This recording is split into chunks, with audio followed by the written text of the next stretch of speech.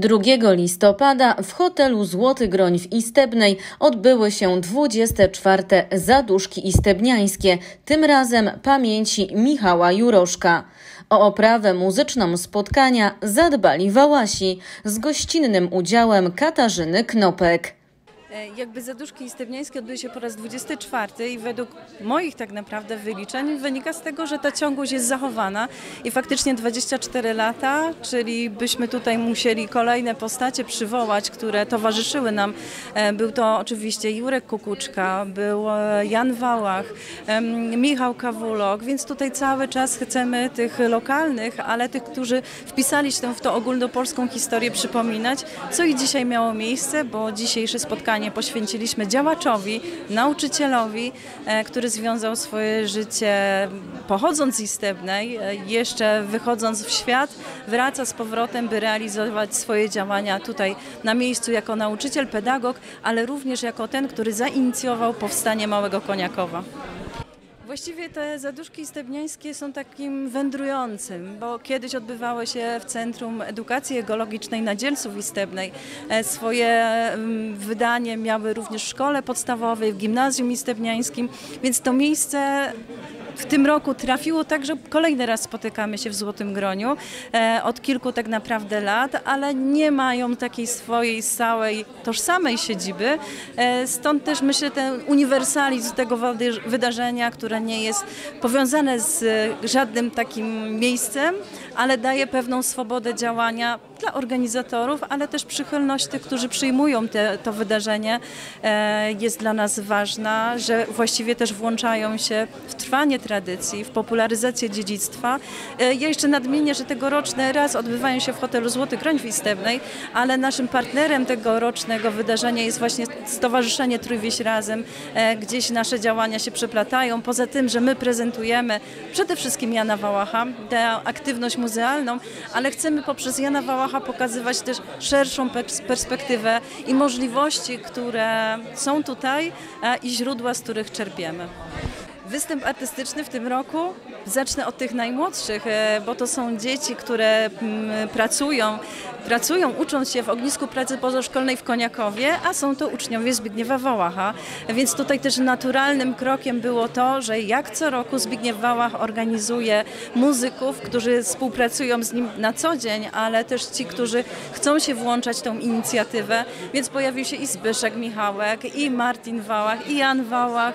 E, no i tegorocznym evencie czy spotkaniu wzięła udział również Katarzyna Knopek, która ze swoim repertuarem trochę wykraczającym za tą tradycję e, połączyła te dwa światy tradycji, współczesności, indywidualnej, autorskiej e, twórczości, ale też klasyki mm, z takiego ogólno polskiego czy światowego obiegu mogliśmy dzisiaj usłyszeć. Ci najmłodsi e, pracują pod skrzydłami ogniska pracy pozaszkolnej w Koniakowie, ale tak naprawdę ta część, którą dzisiaj mogliśmy zobaczyć, to są przede wszystkim uczniowie Zbigniewa Wałacha, e, którzy uczęszczają i do szkół istebniańskich, i do Jaworzynki, i do Koniakowa, a jeszcze w tym czasie pozalekcyjnym znajdują czas na to, żeby e, spotykać się wokół tradycji, uczyć się gry na instrumentach, przede wszystkim na smyczkowych, no tutaj bogata reprezentacja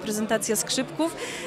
a przede wszystkim skrzypaczek, bo tutaj jednak dziewczyny są w przewadze, są i chłopcy w różnych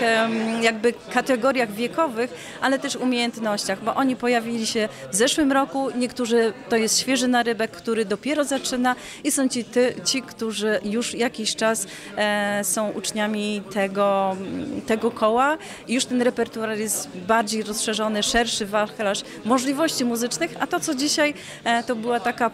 myślę, że w kolejnych odsłonach będziemy ich również e, mogli prezentować, a przede wszystkim podziwiać. E, szczerze mówiąc, to nigdy nie robiłam jakiegoś szczegółowego oglądu, ale jakby będąc związana z tym wydarzeniem, myślę około, około 15 lat, to od dekady dopiero zaczęły się pojawiać takie inicjatywy upamiętniające, więc myślę, że tutaj jesteśmy pewnego rodzaju prekursorami e, na terenie Śląska Cieszyńskiego, ale zaczęło się też pojawiać na Żywiecczyźnie, więc właściwie możemy powiedzieć, że ten krąg zainteresowania też innych został rozszerzony, inne instytucje również wracają do tej swojej tożsamości, lokalnej historii, poszukując tak naprawdę bohaterów codzienności, e, którzy mm, tworzyli czy współtworzyli tę rzeczywistość, w której obecnie się znajdują i którą mogą dalej pielęgnować, przekazywać kolejnym pokoleniom.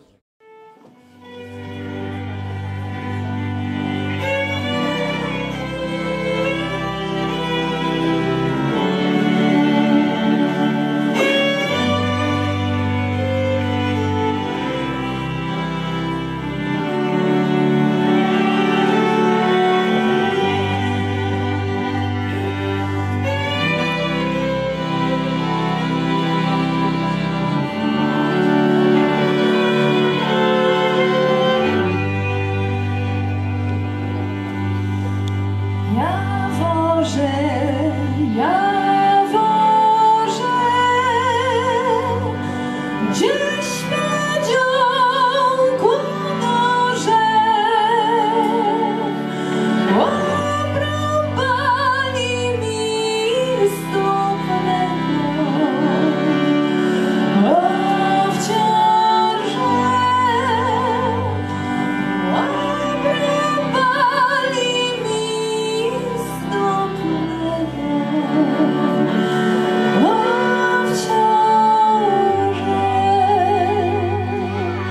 Dla portalu Śląska Cieszyńskiego OX.pl Marta Szymik.